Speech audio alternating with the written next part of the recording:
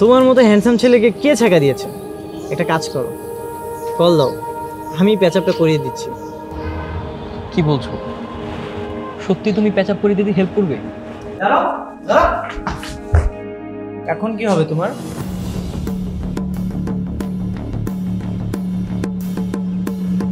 কি হচ্ছে এগুলো? আই লাভ ইউ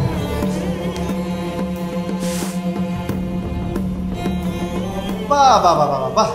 কি প্রেম লীলা ছি মিরা ছি। আপনি আসলে যেটা ভাবতেছেন সেটা না।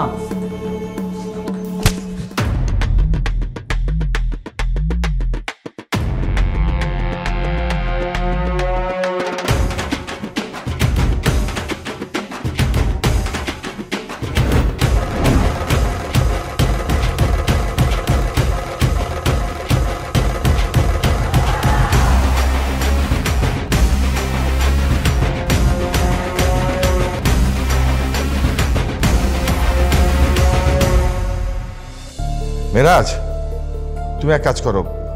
তুমি ম্যাচ থেকে তোমার বই খাতা নিয়ে আমার সাথে চলে আসো। আমি এখানেই ঘুমাতে পারব। তুমি ঘুমিয়ে যাও। কেন? আপনি কি আলাদা থাকতে চান? হুম। কিছু তো একটা হইছে। হ্যাঁ কি হইছে? বল। না মানে আমরা যখন বিয়েতে গিয়েছিলাম না। তো বিয়েতে গিয়েছিস? কি হয়েছে বিয়েতে? বিয়েতে বিয়েতে আরে বল না কি হয়েছে কিছু না।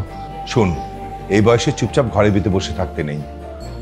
তো তুই এক কাজ কর মিরাজকে নিয়ে যা একটু বাইরে থেকে ঘুরে আই নে চল। না চাচ্ছু আমি যাব না। কেন যাবি না? হুম? গ্রামে তো এতদিন বিয়ান সাহেবাকে নিয়ে খুব ঘুরেছিস। এখন বিয়ের সাথে ঘুরতে সমস্যা কি? বিয়ে আর বিয়াইন তো একই জিনিস। কিছু ভাবছিস? ভাবছি ঘুরতে যাব। তাই? টাকা ধর যা ঘুরে আয়। যা। গাইসাব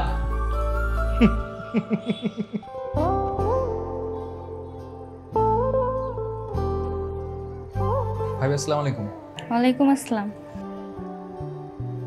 কি কি বিয়ে চলো বাইরে যাই। বাইরে? বাইরে কোথায়?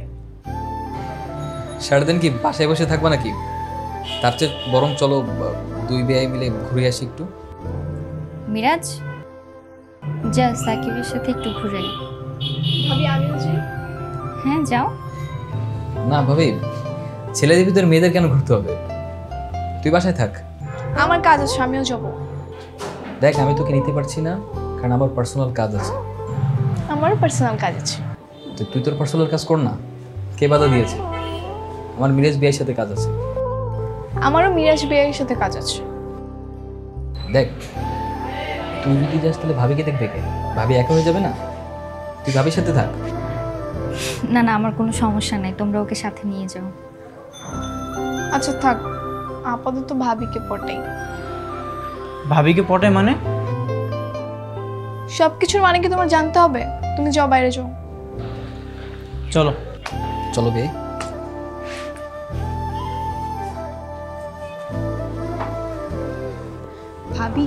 তুমি না অনেক সুন্দর। তুমিও অনেক সুন্দর। আচ্ছা আমাকে কি তোমার পছন্দ হয়েছে? কেন পছন্দ হবে না? তুমি তো মিষ্টি একটা মেয়ে। তোমাকে আমার অনেক পছন্দ। জানো তোমার মাও না আমাকে পছন্দ করেছে। তাই?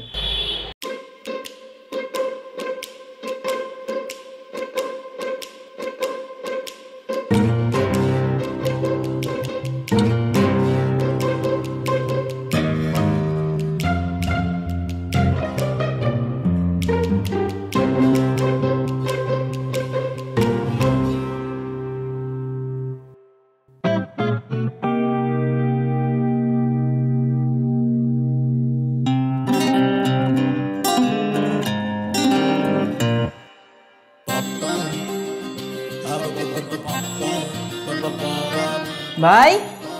ও ভাই, কি ঘুমান নাকি ভিতরে?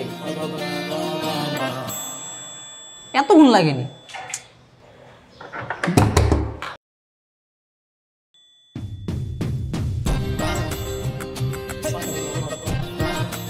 এই অবস্থা কেন আপনি আরে এই যে, আমি দুই নম্বর করার পরে আমার একটা গোসলের অভ্যাস বুঝছিস? এটা আমার ছোটবেলা থেকে। টি শার্ট পরে গোসল করার অভ্যাস। বুঝছি। ইচ্ছে যে কি আকাম বাড়াইছেন বুঝছি। কামের গোলা কামের পোলা থাকে। এটা পক্কা পরিষ্কার। বাথরুমের ভিতরে বোধ না রাখে না। গ্রামের বোধ। নিজে একটা গ্যারাম মাহুত আমার একটা গ্যারাম মাহুত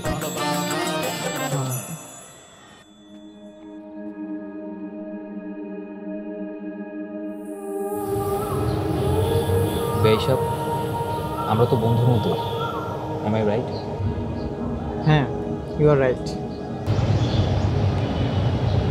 একটা কথা শেয়ার করতে পারি?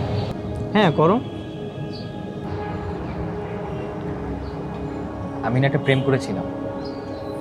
করেছিলাম? তার মানে এখন করো না? কি ছ্যাঁকা খাইছো নাকি? বলতে পারো সেরকমই। আসলে আমার কষ্টটা তুমি বুঝবে না? আমি না বুঝলে কেউ বুঝবে না। কেন? প্রেমের আগুন কি তোমার বুকেও চলছে নাকি? জ্বলছিল কিন্তু সেটা আমি নিভিয়ে দিয়েছি। যাই হোক তুমি তোমার কথা বলো।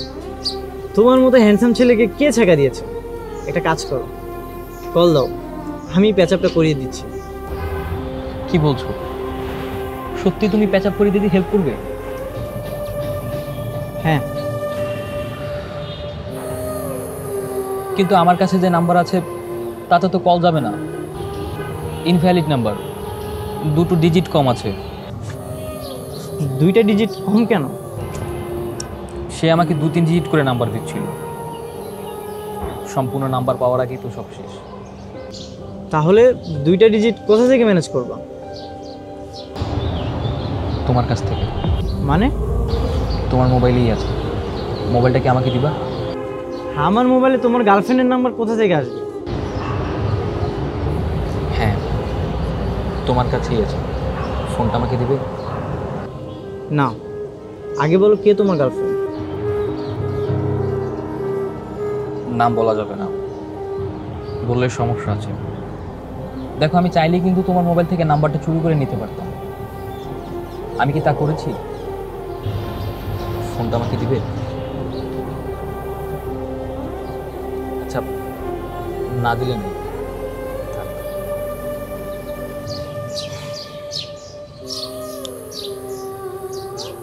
এই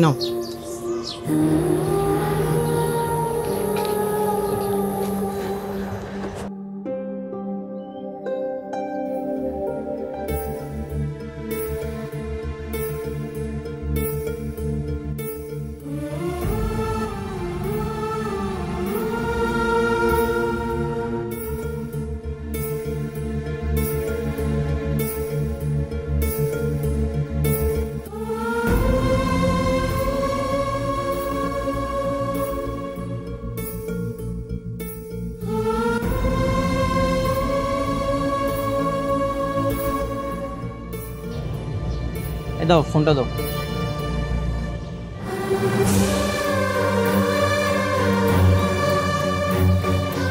কি? রিয়াকে ফোন দিয়েছ? হ্যাঁ। কিন্তু ওর নাম্বারটা কল যাচ্ছে না। তুমি প্লিজ ওর আসল নাম্বারটা আমাকে দাও। আমি ওর সাথে কথা বলতে চাই। আমার কাছে ওর এই নাম্বারটাই আছে। যেহেতু কল যায়নি তাহলে আর কিছুই করার নেই। আমাকে যে নয় সংখ্যার নাম্বারটা দিয়েছিল ওই নাম্বারের সাথেও তো এই নাম্বারে কোনো মিল নেই। আমার মনে হয় রিসেন্টলি নাম্বারটা চেঞ্জ করেছে। আর এই নাম্বারটা আমাকে এক বছর আগেই দিয়েছিল। কি করব কিছুই বুঝতেছি না। কি আর করার? ওকে তুমি ভুলে যাও। না? কেন ভুলে যাব? কারণ ওর সাথে তুমি যদি রিলেশন করো তাহলে একটা ঝামেলার সৃষ্টি হবে। আর এগুলো যদি তোমার ফ্যামিলি জানতে পারে, তাহলে সবাই খেপে যাবে। আমার বোনের সংসারে কোনো ঝামেলা হোক, সেটা আমি চাই না। তো ঝামেলা না করে আমার খালাদো বোনকে তুমি ভুলে যাও।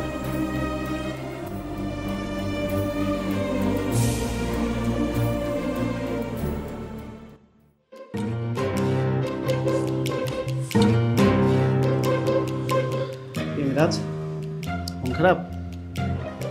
না ভাই। আচ্ছা আমারে কি বিয়ে দায় করবে না? আপনার আবার কিসের বিদিয়া দেয়? আর আমি পাত্রের সাথে প্রধান মেহমান হিসেবে আসব তা আমার এই যে শার্ট প্যান্ট কোট এগুলো দিবে না? আর তাছাড়া আমার না এই বাসায় খুব প্রবলেম হচ্ছে। মানে প্রত্যেকটা বাথরুমে না মানে উঁচু উঁচু প্লেয়ার দেওয়া। মানে আমি কোথায় বলব আর কোথায় পা দেবো? মানে এই জায়গাটায় খুঁজে পাইতেছি আর একটা বদনা নেই বদনা ছাড়া কি টয়লেট করা যায়? তুই বল। বাথরুমের কথা বাদ দেন। আর আপনি কি এখানে প্যান্ট শার্টের আশায় আসছেন? বাড়ির লোকজন যদি শুনে তাহলে কি ভাববে বলেন? আমাদের একটা মান সম্মান আছে না? না না প্যান্ট শার্টের আশায় কেন আমি আসব? আমি চেয়ারম্যানের ছোট ভাই না আমি তো তোদের উপকারের জন্য এখানে এসেছি। আপনিও না ভাই। হ্যালো বিআই সাহেব। ভাবি আপনাকে রান্নাঘরে ডাকছে। কেন? আপনাকে ডিম ভাজি করতে হবে তাই। আমাকে ডিমবাজি করতে বলেছে? আর ডিমবাজি করে কি হবে? আপু কোথায়? তোমার আপু তো নতুন বউ। সে কি সারাদিন কাজ করবে নাকি? ভাবি ঘুমোচ্ছে। তুমি আসো ডিম ভাজি করো। নাহলে তোমার দুলাভাই এসে খাবে কি? দুলাভাই কি ডিমবাজি দিয়ে ভাত খাবে? না অনেক তরকারি আছে। কিন্তু ভাইয়া ডিম ভাজিটা বেশি লাইক করে। মিরাজ তাহলে যা ডিমবাজি কর আমি ঘুমাই। ঠিক আছে। চলো। আসেন।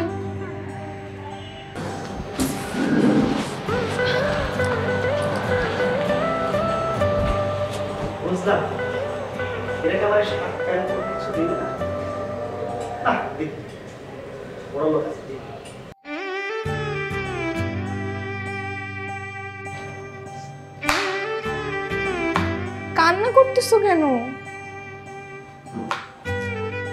দেখছ? মেয়েদের কাজ কিন্তু এত সহজ। না আমি তো ডিসাইড করেছি আমার হাজবেন্ডকে দিয়ে সব কাজ করাবো আর আমি চাকরি বাকরি করব। বক বক বন্ধ করো। আচ্ছা আমাকে একটা কথা বলো তো। তোমাদের এই বাসায় কি কাজের লোক নেই? আমার আপুকে এই বাসায় সারাদিন রান্না বাড়া করে বেড়াবে? আর কাজে ছিল মাহিন তো আছে আর খালাও আছে। আমরা তো গ্রামে গিয়েছিলাম না তখন খালাও ছুটিতে গ্রামে চলে গেছে। হুম কিন্তু আমি তো তোমাদের গেস্ট আর আমাকে দিয়ে ডিমবাজি করিয়ে নিচ্ছ? টেস্ট করে নিচ্ছি। আমার ফিউচার হাজবেন্ড হওয়ার যোগ্যতা তোমার আছে কি না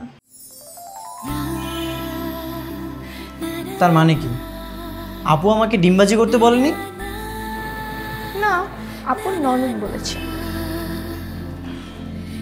কে আপু ননদ? আপনার সম্মানিত বেআইন আমার সাথে মজা না? দাঁড়াও তোমাকে মজা দেখাচ্ছি। আমাকে কি মজা দেখাবে হ্যাঁ?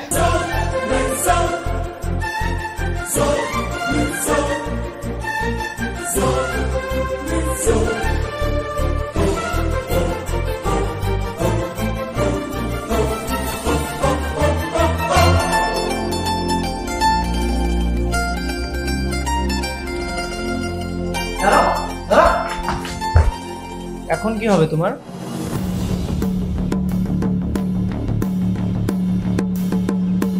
কি হচ্ছে এগুলো? ভাইয়া কিছু না। তোর পড়ালেখা নেই?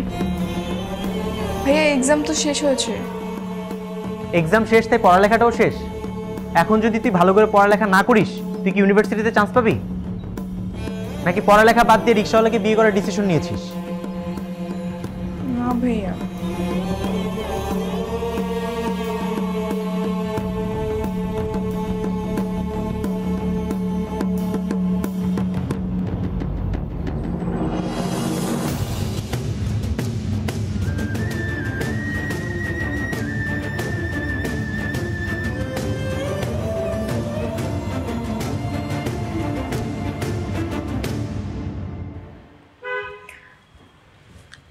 কখন আসলেন? এই তো মাত্রই আসলাম। তুমি ঘুমাও। না না সমস্যা নেই। আপনি ফ্রেশ হয়ে নেন খাবার দিচ্ছি। বিকেল পাঁচটা বাজে এখন কিসের খাবার? আমি বাবার থেকে শুনেছি আপনি অফিসে লাঞ্চ করেননি। প্রয়োজন পড়েনি। ব্রেকফাস্ট একটু বেশিই খেয়ে ফেলেছিলাম। বাই দ্য ওয়ে তোমার হাতের রান্না কিন্তু খুব ভালো।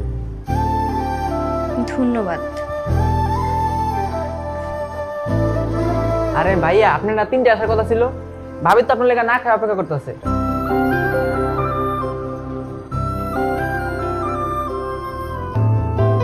আপনি খাইতে আসেন। ভাইয়া আপনি আসেন দ্রুত। তুমি লাঞ্চ করনি কেন? আমাদের এলাকাতে হাজবেন্ডরা না খেলে ওয়াইফরা খায় না। এটা কি ভালোবেসে করে নাকি নিয়ম মানে? ভালোবেসে। তুমি আমাকে ভালোবাসো? তাহলে নেক্সট টাইম থেকে আমার জন্য আর ওয়েট করো আমি যদি বাসায় নাও থাকি তুমি নিজেই খেয়ে আরেকটা কথা আরোহী আমার একমাত্র ছোট বোন অনেক আদরের। আমার মনে হয় তোমার উচিত ওর খেয়াল রাখা। হ্যাঁ আরোহী খেয়েছে। খাওয়া ছাড়াও আর অনেক বিষয় আছে। আরোহী লেখাপড়া কেমন করছে কোথায় কার সাথে কি করছে আমি তোমাকে এইসব বিষয়ে খেয়াল রাখতে বলছি।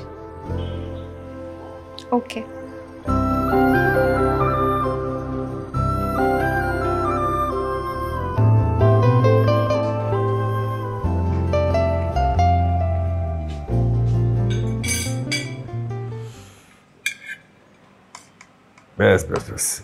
ফারুক সাহেবকে তুলে দাও।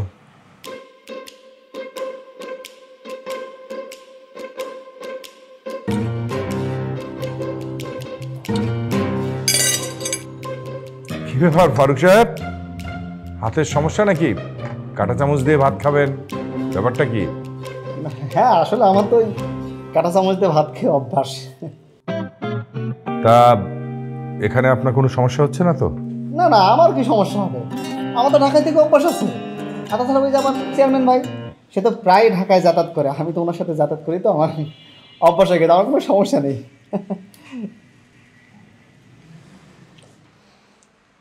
আচ্ছা বাথরুমের ভিতরে বদনাই না রাখছে কারে রে? কোন রাম ছাগল করছে একামদা রাম ছাগল? রাম ছাগলকে আমি আমি বদনা নিয়ে আসিনি। মিরাজ ওই তুই নিয়ে তুই তুই নিয়ে আসিস বদনা তাই না? নিজের দোষটা অন্যের কাছে চাকরি দিয়ে না। চুপচাপ খেয়ে নেন। মাহিন বদনাটা আমি এনেছি। যাও ওয়াশরুমে রেখে আসো। ফারুক ভাইয়ের কাজে লাগতে পারে। আচ্ছা।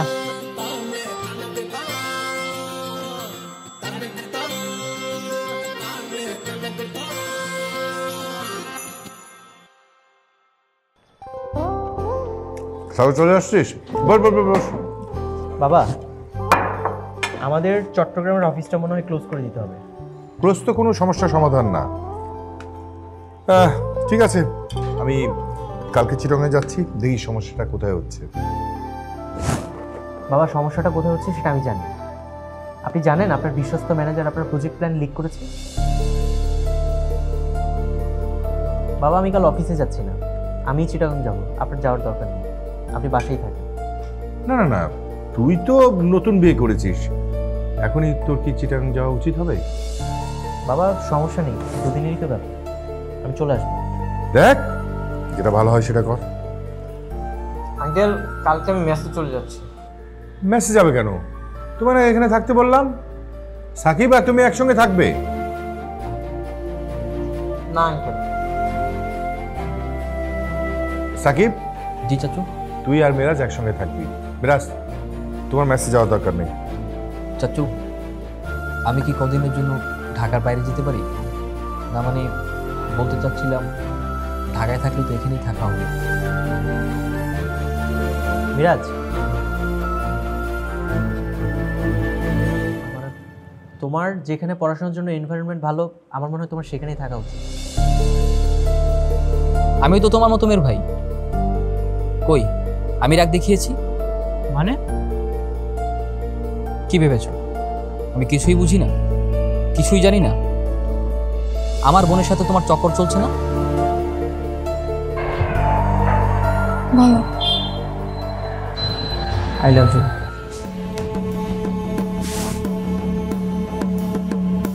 বাহ বাহ বাহ বাহ বাহ।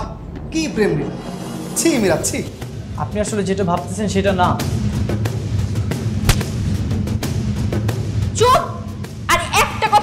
তুই হ্যালো জনগঞ্জ এতদিন পর্যন্ত আরোহী ও মিরাজের রিলেশনটি আরোহীর ভাই পর্যন্ত সীমাবদ্ধ ছিল।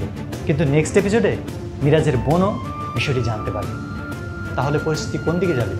এদিকে সাকিবের কি হবে? তা জানতে পারবেন আমাদের পরবর্তী এপিসোডে পরবর্তী এপিসোড দেখতে হলে এই এপিসোডের নিচে এক লক্ষ লাইক এবং দশ হাজার কমেন্ট ঝটপট করে ফেলুন। বন্ধু হয়ে আমাদের পাশে থাকুন। ধন্যবাদ।